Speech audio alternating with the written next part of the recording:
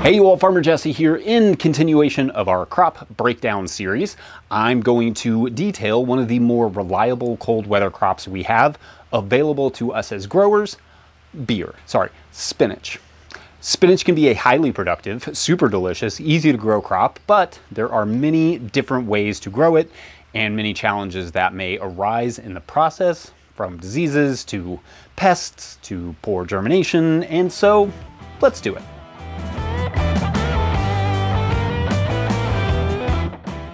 First things first, if you're not subscribed to this channel, make sure to hit the subscribe button. And if you are subscribed, you're awesome. And hey, if this channel ever saves you money or makes you money or gets your garden even a little bit more productive, consider signing up to be a patron at patreon.com slash no-till growers. Or you can always support our work by picking up a copy of the Living Soil Handbook or a hat or other merch at no-tillgrowers.com Thanks. All right, so I want to make sure you have my full context here. I am in Zone 6B, Kentucky, home of the Corvette. That sums it up well. And so everything I discuss here kind of comes from that context. Now, let's start with varieties. There are really three main types of spinach. Smooth spinach, Savoyed spinach, and semi-Savoyed spinach. Um, spinach and semi-Savoyed spinach are the crinkly spinaches that are not super common in grocery stores. Honestly, Savoyed spinach, Savoyed just doesn't even feel like a word after you say it enough times. Savoyed spinach is the main types that we grow here on our farm because I like the flavor and the cold hardiness, uh, but the differences are important. For one, smooth spinach generally grows faster, uh, so like 27 days to maturity as opposed to like 30 or 35 for Savoyed spinaches. The yield is supposedly a bit higher in the smooth leaf spinaches, uh, but they do not hold after harvest as well as the Savoy spinach. Um, for a lot of the big growers, they are producing primarily smooth spinach to be harvested once as fresh and then a second harvest that will often be processed and frozen very quickly. Uh, if you're a conventional grower, you should tell us like how you do that because I can only know what I read. But the Savoy and the semi-Savoy can have tougher leaves, uh, so they are typically considered more of cooking spinaches. Um, that's kind of really more personal preference though. Uh, I like them raw, doesn't mean everybody will. Perhaps that's also because the Savoyed spinaches tend to have a little less of the oxalic acid that can make spinach really bitter for some people. But you will find a lot of customers in general are accustomed to smoother spinaches uh, that they buy in bulk, like clamshells at the store, so it can be a bit of a challenge to sell the Savoy spinach, even if it tastes better. Not the worst idea to grow a little veach if you're selling them and see what hits at your market, or I guess at your palate. Commercial growers often select their spinach based on disease resistances as well. So if you're ever wondering why your favorite spinach seed is no longer available, it's probably because the giant growers in California or wherever found that variety no longer had the level of resistance they needed for X disease, usually something like downy mildew. Um, so essentially that spinach variety just gets replaced. Spinach varieties are often selected for their uh, growth habits as well. Some grow more upright, for instance, which is better for mechanical harvesting or bunching or whatever it may be. Uh, bunching spinaches are those that are often bred for like longer stems and bunched together. Uh, I've never tried really selling those at market, but Feel free to chime in about them if you do. I'm really curious, like if you sell bunch spinach. Anyway, bunching spinach could be a way to reduce plastic waste as well, if that's your bag. I really could have chose a better word there. But bunching spinaches may be spaced differently, i.e. further apart in the field than say fresh leaf spinaches. Uh, but before we get into spacing, we should talk about those specific varieties for each. My personal favorites are Tundra and Colibri, which yes, is also the name of a kohlrabi, weirdly, but both of those spinaches varieties are Savoyed types. I also like Corvair, as a semi-Savoyed. I don't have a lot of experience with the smooth spinaches, but I have always liked space spinach when I want to change things up a bit. Um, it's a good one for direct seeding. As always, let us know your favorite varieties in the comments section or any general spinach tips you have or anything I miss and all of those good things. Um, all right, let's get into germination because this is inarguably the most confounding part of spinach production. How do you get the dang seeds to sprout? First, spinach does not germinate well in high temperatures, no matter if you're sowing directly into the soil or starting the spinach in cells or soil blocks. It prefers an average temperature of 65 to 70 degrees Fahrenheit or 18 to 21 degrees Celsius.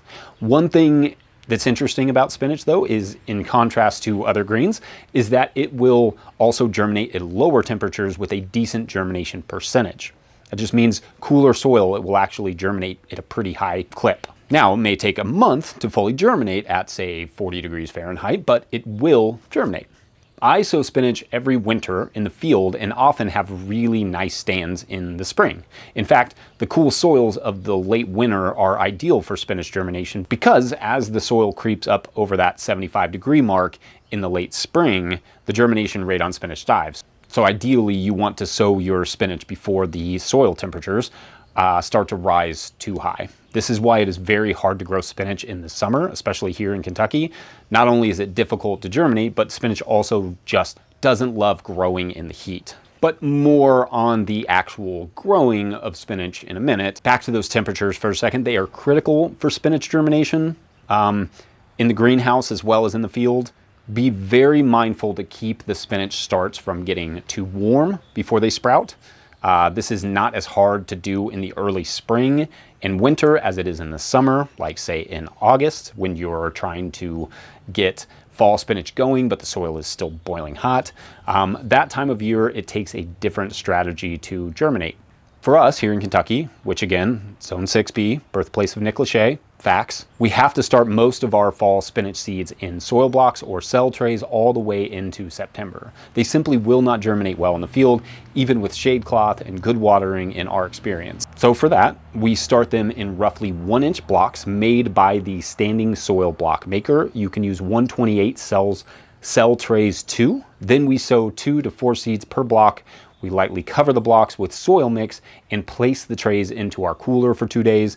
Then we pull them out in the afternoon and set them somewhere shady and cool, like our shed. And well, we keep them well moistened until they germinate. The trays cannot get hot. They have to stay cool and out of direct sunlight. Uh, so the second that we see germination, we move them into the tunnel with other mesh trays on top um, for shade we allow them all to germinate and then we can remove that top covering. Um, we will also harden off fall transplant spinach in direct sunlight like we do our lettuce as explained in this video. Now you may come across the term seed priming from time to time when looking into spinach. This is also something that we do. Uh, priming spinach seed is essentially when you soak spinach seed overnight in water, though most studies you find on priming seed is not in just water but various nutrients, uh, I like a good compost extract, for instance. Anyway, you soak the seed in some solution of your choice and then set the seed out on a tray uh, of some sort to dry. And then you can seed trays or sow the spinach in the field, and that has been shown to improve germination rates. And there's a ton of science to this, but also a lot of indigenous wisdom. Indigenous cultures all over the world have been using prime seed forever. And so if you were at all struggling with getting seeds to sprout, give priming a try and watch this video here for a few more details and info on seed priming. Okay, now let's uh, talk spinach spacing because there are a 101 ways to do this. No, I actually counted, it's 101 exactly, it's, it's weird. First, for direct seeding, baby leaf spinach is going to be seeded closer than, say, bunching spinaches. I recommend when direct seeding to sow the seed very close and dense anyway because of that challenge that it sometimes presents with germination. Um, worst case scenario, you get smaller leaves for your first cutting, which is not the worst thing in the world. For us, we use the Jang seeder with the F24 roller and the gear ratio at 14 in the front and 9 in the back. This gives me a pretty dense seeding ratio in the row.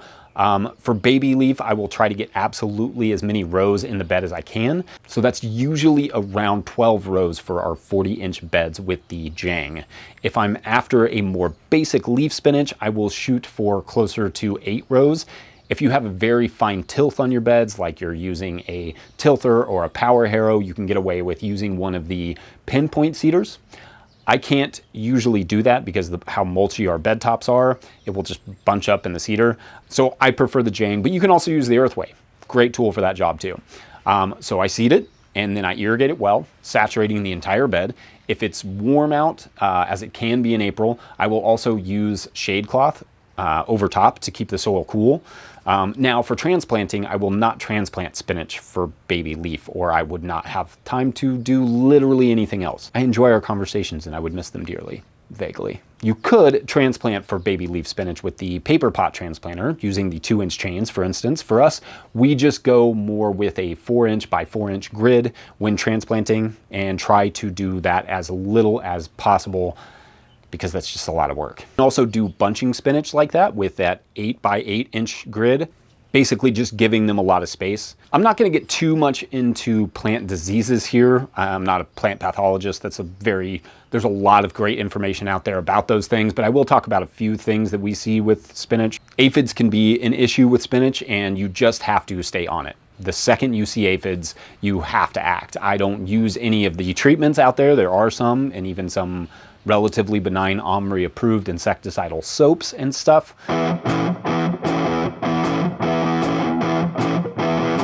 But you can also just lightly spray the leaves with a hose to knock the aphids off as they are not good at traveling back onto the plants after they fall off. Uh, but they are masterfully good at reproducing on the plants. Otherwise, airflow is going to be your biggest thing. Keeping the leaves relatively dry and making sure that they're not just closed into a greenhouse all the time where the fungal diseases and stuff will catch up with them. They need good airflow and they need the leaves to be able to dry off. Okay, so let's get back to harvest for a second.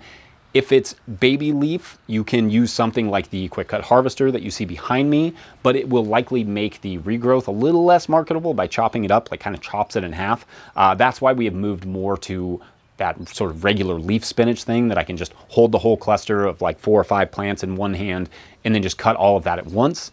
Cutting it that way is not as uniform, but it will regrow well um, and is easy enough to do pretty quickly. Uh, I know some people also just pick uniform leaves and for chefs and stuff, and that's probably a good approach for, especially for restaurants. Um, just make sure that your price reflects the labor required for that. We're currently in the year of our Lord 2023, I think, selling spinach at 12.50 a to $15 a pound at market in bags that weigh 0.20 pounds or bulk. We usually sell around 9 to $10 a pound, depending on the time of year. You may be able to get more or less uh, than that in your market. One thing that I routinely forget in these videos is fertilization. There's not a lot to it with spinach. It requires a decent amount of nitrogen, but because we often plant it so early, especially the early ones, they benefit from the soil kind of coming back into life. The microbes getting out of their dormancy and kicking that nitrogen back in. Um, so oftentimes we don't have a lot of issues in the spring, but nitrogen can be an issue and you'll see it you'll see the leaves yellowing and that may mean you want to do some sort of fish hydrolysate or something like that that will uh, give them a little bit of a boost in the spring or in the summer if you're seeing any of that yellowing. I find that just a light uh, you know, fertilizing compost like a good chicken manure or if you have some vermicompost to mix in there usually does the trick. We rarely have spinach deficiencies. Just make sure your compost is really well made. Uh, feel free to chime in about your pricing, your disease and pest management, your favorite spinach varieties, or anything else I missed or glossed over or forgot or talked too much about. Otherwise, I'm going to quit now and get back to work. So please pick up a copy of the Living Soil Handbook from no-tillgrowers.com. If this was helpful, or even better, join the Patreon page at patreon.com slash no-tillgrowers to support our work. And as always, feel free to join us at the No-Till Growers Forum for continued nerdery. That's a word. Now, all right, thanks for watching. We'll see you later. Bye.